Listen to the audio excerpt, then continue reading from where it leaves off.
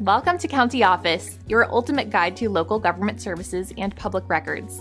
Let's get started. What education is needed to become a juvenile probation officer?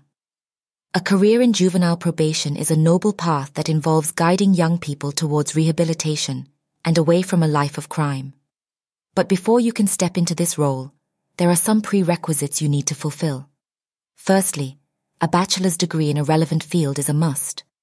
Degrees in criminal justice, psychology, social work, or sociology are commonly pursued by those interested in this career. These courses provide a solid foundation in understanding human behavior, societal issues, and the criminal justice system.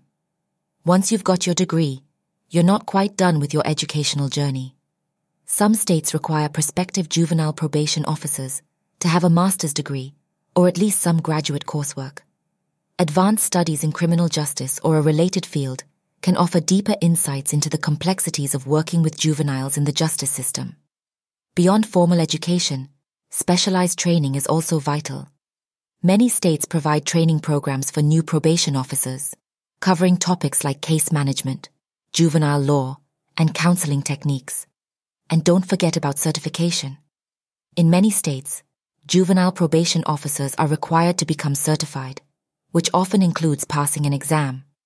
Now that you're equipped with the knowledge about the education needed to become a juvenile probation officer, it's time to take the first step towards this rewarding career.